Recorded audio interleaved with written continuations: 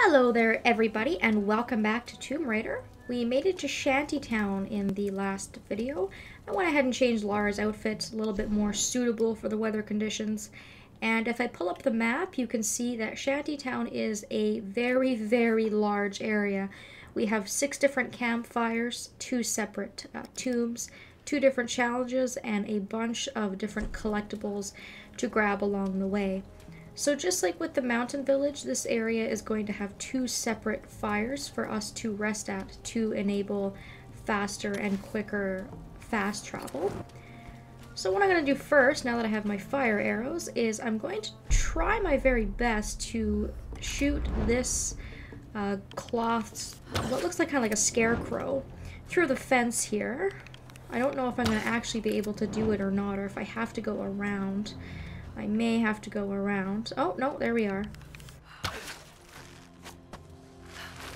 Because this is one of our challenges. Uh, luckily for me, I was able to cheese that. There is a way to go around and grab that, but I figured it would just be faster um, to do it from here. So you have to burn the cloth off of those effigies and then pull the whole thing down using your uh, rope.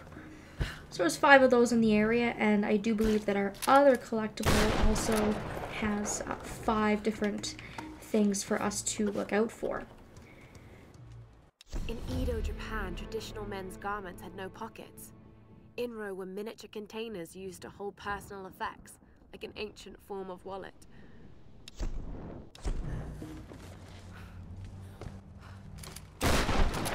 So again, lots and lots of collectibles in this area, and the way that Shantytown is laid out, there's a lot of different um, areas to go, a lot of dodging and weaving, and a lot of different levels to a lot of these buildings and, and whatnot. So when we're able to get our treasure map, it's going to be insanely useful.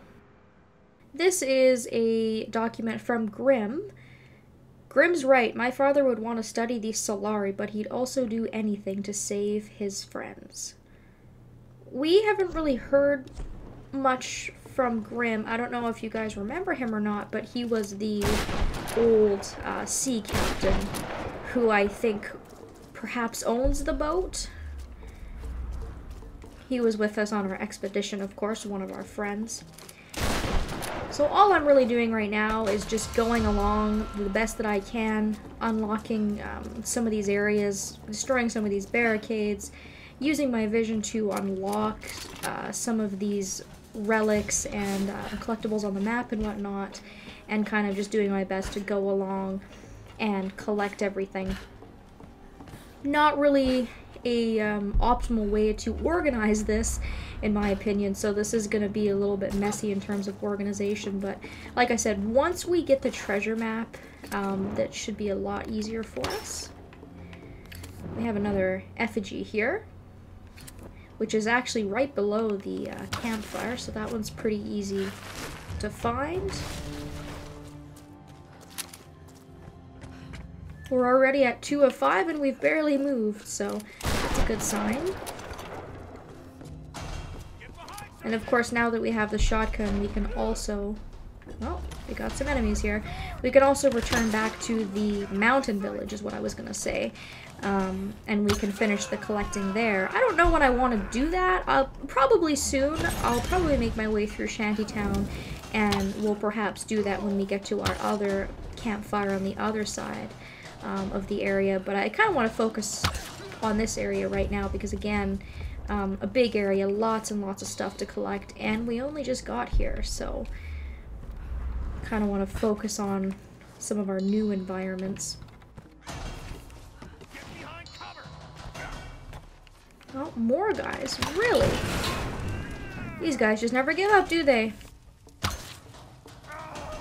So, obviously you're not going to get ambushed with as many um, big mobs of enemies as we were running into when we first got here, but this place is riddled with different enemy encounters, and I think it's implied that this is where the Solarii live. So that's possibly why. Um, either that or they're just here patrolling quite often because it's a big area. I, you know, I don't really know the reasoning behind it, but you do have to kind of watch yourself freshly lacquered wood, but this one's made of brass. Probably dates from the 19th century. The inside of this inro smells like tobacco. Perhaps this was used as an ancient cigarette case.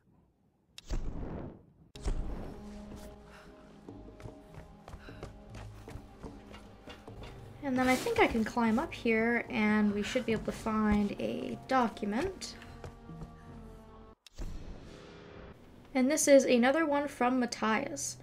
This is insane. Matthias has convinced these men that the spirit of the Sun Queen is somehow alive and keeping them on this island. Or I guess it's not from Matthias, it's from one of his men, one of the Solarii, but it talks about Matthias and his insanely, you know, powerful hold over these people almost like a cult, I guess is, is what I would call it. Or what it seems like to me.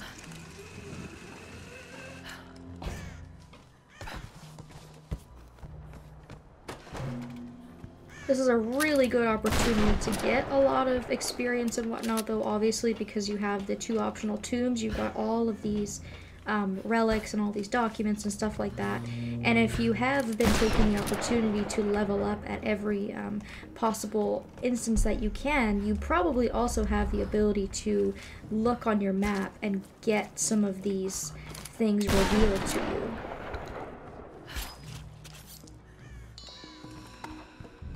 Collect some experience from the boar while I'm at it. And over there is kind of heading more towards where I need to go for the uh, story, as you can see. So I'm going to just ignore that for now. And I'm just going to have a look around and see if there's anything else that I can uh, find. But again, uh, might be a little wiser for me to come back and do this after I have the uh, treasure map. Oh, that one tanked a shotgun shell. It's pretty beefy boar. His will to live was strong, but my guns are stronger. Some cash here. Some ammo.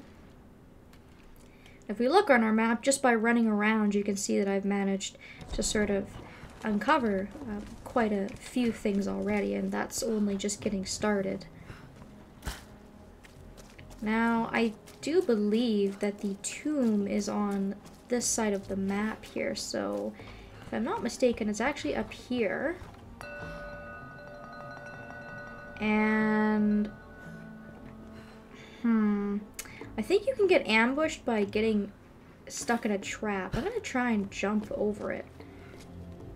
Oh, that actually worked. I've never tried that before, um, but as you can see there, there is a um, trap that Lara can get her foot stuck in, and then you would get ambushed by uh, more Solarii. So that's up to you if you want to do that and get more experience. You know, you can loot the dead bodies and, and get some more stuff.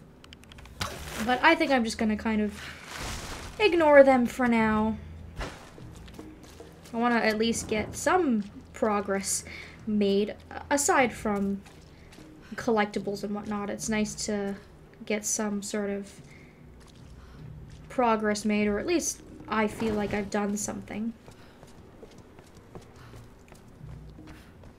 So again, we have a very long kind of ride to get into the tomb. But from what I remember, this tomb here is uh, pretty simplistic. Get some salvage. I can't recall too many of these tombs really giving me that much trouble or, many of them being serious head scratchers. I think there's only one or two that I can really think of that I either didn't know what to do or I, I really had to try it a couple different times to get the timing down. This one is the Well of Tears, and this is a, another very, very easy tomb, actually. This one reminds me of the first tomb that we ever did. This is another uh, weight puzzle. So we've got these canisters scattered around that we have to try and put on this platform here to get the platform to come down. And I think three will do it to make it come all the way down. So we'll just wait for that to fall. And what we need to do is just catch the platform on its way up. So we'll go to the bottom and take all the weight off of it. And then make a run for it. And we should be able to latch onto this as it makes its way up. And then, if I can time it correctly, again, a lot of these things are about timing, you should be able to just flawlessly jump right from the platform, uh, right onto the ledge, sidle up, and uh, grab your treasure and get out. I think I was just a little bit too slow there.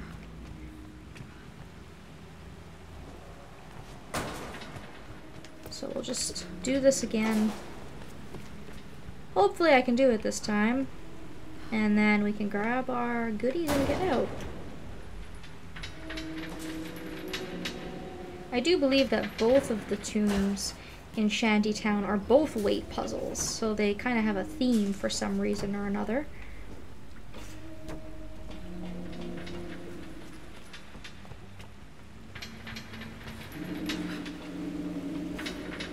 And there we go.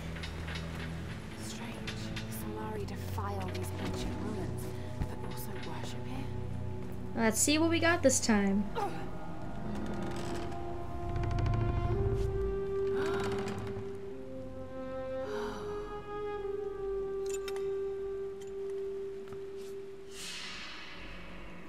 So quite a bit of experience. We get our um, salvage as well, and we also have our relic map.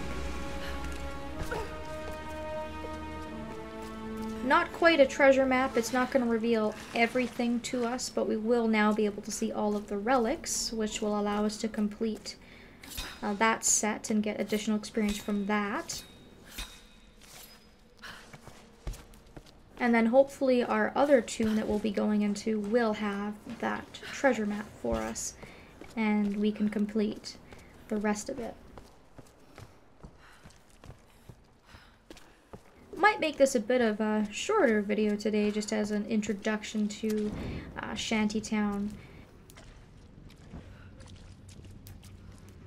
I know we only just got here, but I don't really feel like mixing in all of the exploring and the tomb raiding and, and the combat all at once, so what I might do is I might just go back to my uh, fire and have a look at some of the things that I have. It looks like I have uh, an upgrade for my rifle. I've got a lot of salvage at this point. I think I also may have a skill point to spend. Might have a look at what I have and then we'll actually make some progress and move on in the next video. So this is one of these areas where you can either be here for a very long period of time or a very short period of time, depending on what kind of person you are. I'm definitely the go over everything with a fine-tooth comb kind of person. Uh, I like to get every opportunity to get salvage and, and whatnot, so... We can modify our assault rifle, which is great. I actually have two skill points to spend, and I have over a thousand pieces of salvage. So uh, I guess I already started upgrading the rifle, so I'll just continue on with that. We'll add these, uh, I guess just, just that one new upgrade. Okay, I was going to say these upgrades, but there was just one of them. And other than that, I can start upgrading my shotgun, I guess. I have so much salvage, so I guess I'll just start rather than leaving all that salvage there. And with that, we're able to almost complete all of the available upgrades on our shotgun as well. In terms of skill points, I'm not quite sure what it is that I want to do. Um, I will grab the dodge counter upgrade because this is very, very useful with certain enemies, and I guess I'll get dirty tricks. I never use this, but I do have to purchase skills in order to get the um, top skill in all the skill trees, so I have to kind of purchase it eventually anyways. So that's kind of a throwaway skill in my opinion, but we'll have to get it at some point, so there we are. We're back where we started, but I promise you guys next time we will go on through the area and we will make some progress next time. Hope you have enjoyed the introduction to Shantytown, and I hope that I will see you next